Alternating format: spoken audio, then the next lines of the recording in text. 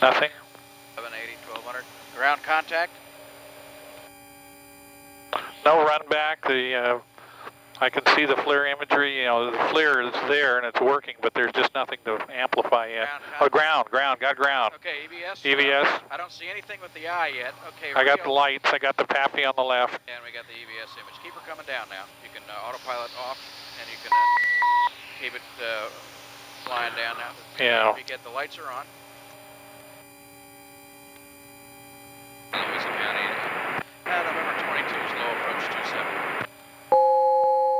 Okay, the misregistration is showing up, but it's not a problem. Brought you right into the place. Yeah, if you go low, it, you'll see that it's uh, that it might that it, it kind of even though it's misregistered, it